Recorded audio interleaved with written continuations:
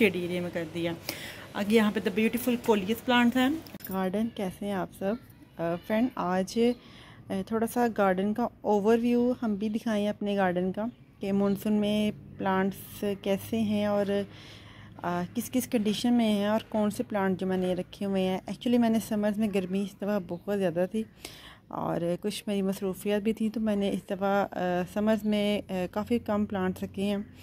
और चलो देखते हैं क्या क्या हमारे पास है। यहाँ पे सबसे पहले जो है मेरे पास फ्रेंड ये देखें, ये न्याजबो के प्लांट हैं और उन पर बड़ी ज़बरदस्त से पिंक देख पर्पल से फ्लावर जो है वो आ चुके हैं। एक्चुअली न्याजबो को मैं अपने प्लांट्स की रो के स्टार्ट में सेंटर में साइड पे ज़रूर लगाती हूँ। क्योंकि आपको पता है ये एक मास्कीटो रिपेलेंट है, मच्छर भगाता है, इसके साथ साथ मच्छर के साथ साथ बहुत से ऐसे इंसेक्ट्स को भी ये रिपेल करता है जो कि हमारे प्लांट्स को ख़राब करते हैं। सो इट्स सेफ़ कि आप न्याजबो को जो है ना, वो ज़रूर लगाएँ। और एक तो बहुत बड़ी खुशबू इसकी है, बहुत से हर्बल प्लांट है ये, फ़ायदेमंद प्लांट है। और इसके साथ साथ जो है हमारे प्लांट को एज आ पेस्ट कंट्रोल भी ये कर लेता है। आगे बढ़ते हैं तो यहाँ पे देखिए खूबसूरत सी ये पर्सलिन है। साथ ही यहाँ पे विंका का कॉर्नर है, जिसमें देखिए देसी और हाइब्रिड दोनों हैं। आज बादल और धूप दोनों ही छिन छिन के आ रही हैं। यहाँ देखिए बड़ा ज़बरदस्त सा विंका जो है ना, वो ग्रो कर रहा है। देसी भी हैं और यहाँ पे देखें हम्म, ये हाइब्रिड है। ये कभी डार्क पिंक हो जाता है कभी लाइट पिंक सा हो जाता है बड़े प्यारे इसके फ्लावर्स हैं। नीचे ये रेड में रूनिश में है। वहाँ मैंने कटिंग्स भी कुछ लगा दी ये बड़ा प्यारा सा कलर है इसका। टी पिंक सा कलर है इसका। और सेंटर में रेड है। यहाँ पे वाइट विंग का भी है और फिर अगेन देसी विंग का है। इसके साथ साथ यहाँ पे ये प्लांट इसका मुझे नाम नहीं आता लेकिन बड़ा अच्छा जो है ना आपकी गार्डन को बड़ा खूबसूरत प्लांट है ये भी। यहाँ पे मैंने सनफ्लावर के सीड लगा रखे हैं। यहाँ पे ये स्पैरेगस है।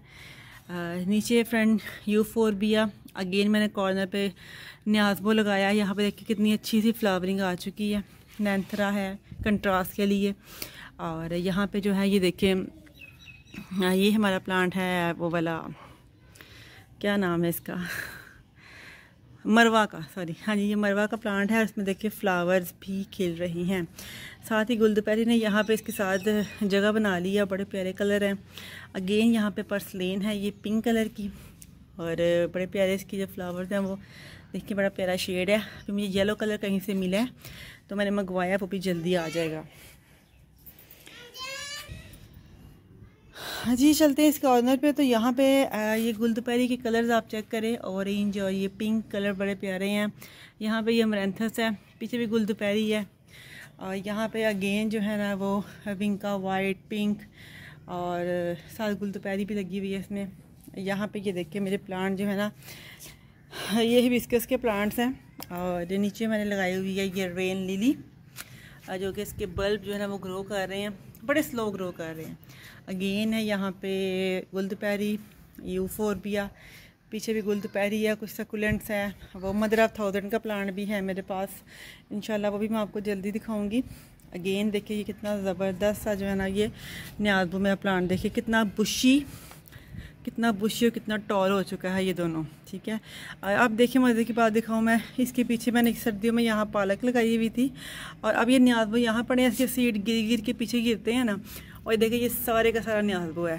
तो करीबन हंड्रेड से ऊपर प्लांट्स हैं, जिनको मैं ऐसा सा रिपोर्ट करूँगी मेरे पास, और ये मुफ़्त के हैं। आपको पता न्याजबो को ऐसे ही ये ड्राई होंगे तो एक के अंदर ही हंड्रेड प्लांट जो है वो तैयार हो जाते हैं हमारे। साथ ही यहाँ देखिए पी वी सी पाइप है, और इस पर मैंने विंका लगाया न्याजबो लगाया, अगेन विंका विंका और न्याजबो विंका। तो ये जल्दी बहुत बड़े हो जाएँगे यहाँ पे। बारिशों से मट्टी से थोड़ी दीवार गर्दी हो गई है। जैसे ही बारिशें रुकेंगी तो मैं यहाँ पे थोड़ा सा पेंट कर दूँगी। यहाँ पे भी देखें विंका है और इधर देखें पर्सलिन, बड़ी प्यारी ग्रो कर रही है, माशाल्लाह हैंगिंग में। और हैंगिंग में इसके साथ यहाँ पर जेड लगाया हुआ मैंने। और अगेन गुल दोपहरी के रंग हैं। ये है। ये देखिए, ये मेरे जामन के प्लांट हैं। फ्रेंड ये लास्ट टाइम के मेरे जामन के प्लांट हैं। देखिए, माशाल्लाह कितने बड़े हो गए हैं बड़ी हार्ड सी इसकी वुड हो गई है अंदर। तो वो लकड़ी भी हमारे काम आती है। और ये आगे फल जब भी देगा ग्रीनरी तो दे ही रहा है ना मेरे गार्डन को। तो ये मुफ़्त के प्लांट होते हैं, इनको उगा लिया करें। अगेन यहाँ पे देखिए जी फ्रेंड यहाँ पे करौंदा का प्लांट है। और ये करौंदा है। यहाँ जट्रोफा है, जिनको मैंने रिपोर्ट करना है। पहले फ़िलहाल इनकी, इसी गमले के ऊपर रख दिया था। तो अगर आपको फ्रेंड अगर आपको देर लगती है कि आप रिपोर्ट नहीं कह सकते तो किसी उस प्लांट को, थैली को जो है ना, किसी गमले के ऊपर रखा करें। इससे आपका प्लांट डेड नहीं होता।